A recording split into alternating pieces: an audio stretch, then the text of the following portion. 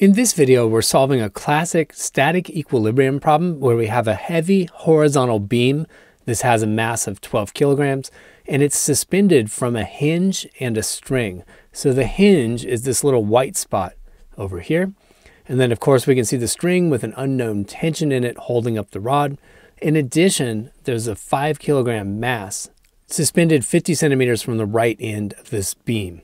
Now, one of the challenges in a problem like this is just keeping track of all the details of where everything is attached. So there's a lot of labeling going on. Our hinge is located 50 centimeters from the left end, but the string is attached 70 centimeters from the left end. And that means this little gap right here between the hinge and the vertical string is 20 centimeters. And we're going to need that in our calculations. And then the hanging mass is suspended 50 centimeters from the right end and we're also going to need to identify the center of mass of this uniform rod because that's where gravity acts for the purpose of computing the torque exerted by gravity. So I'll just try to eyeball this and say the center of mass is about right there. And so that's a distance of 50 centimeters from our hinge because the center of mass is at the one meter mark for this two meter long beam. So the two calculations we're going to do here is to find the tension in that string, first of all, and then find the force exerted by that hinge.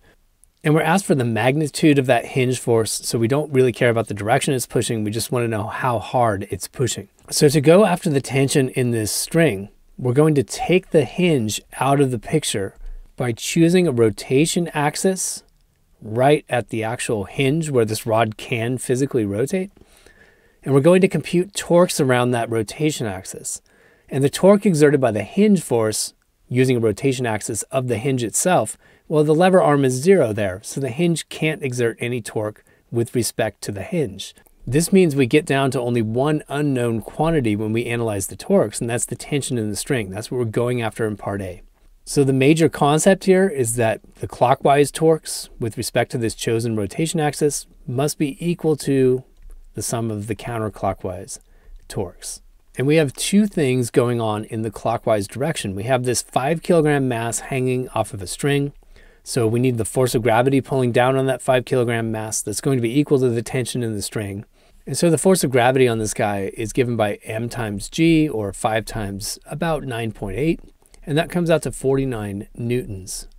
So because that 5 kilogram mass isn't moving, the tension in the string must also be 49 newtons, so we're pulling down on our horizontal beam with a tension of 49 newtons. Now the other clockwise torque is caused by gravity pulling on the center of mass of this uniform beam. And the magnitude of that force, again, that's mg, is going to be 12 kilograms times approximately 9.8 meters per second squared. And this gives us 117.6 newtons pulling down on the center of mass of the beam. So there's our two clockwise torques in the problem. Now this has to be balanced by a counterclockwise torque with respect to the chosen rotation axis in order to keep the system from rotating. And that counterclockwise torque is caused by this unknown tension pulling up on the beam 20 centimeters to the right of the rotation axis. So now we're ready to plug in the details. I have these two clockwise torques. I'll start with gravity pulling on the center of mass here. That has a magnitude of 117.6 newtons and a lever arm, meaning the distance to the rotation axis, of 50 centimeters. That's the distance between the center of mass right here and the location of our hinge. Now, it wouldn't cause a problem to actually just leave this in centimeters in our calculation, but as a physicist, I just feel like I have to compulsively convert things to SI base units. So I'm going to call that 0.5 meters instead of 50 centimeters. All right, so that's our first clockwise torque. Then we move to our next clockwise torque, which was caused by this 49 Newton force acting 50 centimeters from the right end of the beam. So I have 49 Newtons exerted through a lever arm of exactly one meter now. So that hinge was 50 centimeters from the left. This force is exerted 50 centimeters from the right. The distance between those is one meter. So there's our two clockwise torques. And this is all balanced by our counterclockwise torque exerted by the unknown tension. So that's an unknown tension T, and that has a distance of 0.2 meters from the rotation axis. Now note that with the lever arm being really small for this tension, we're going to get a really big tension. It takes a lot of force to hold this entire thing up if you don't have a big lever arm to work with. And we run the numbers in our calculator and get 539 newtons. Okay, in part B, we're going to find the magnitude of the hinge force. And first I want to point out that we can figure out which way the hinge force points before we do anything quantitative.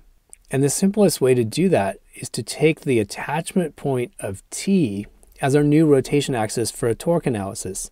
And if this system is completely static, then the net torque around that axis has to be zero as well. Otherwise, the rod would start to spin.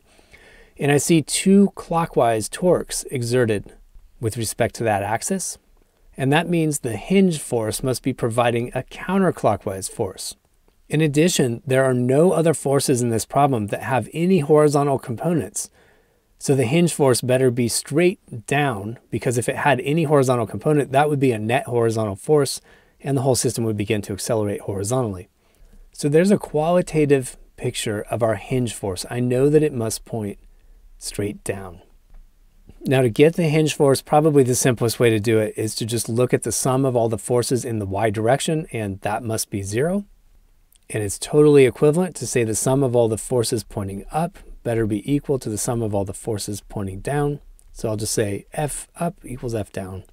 And we only have one upward force, that's the tension.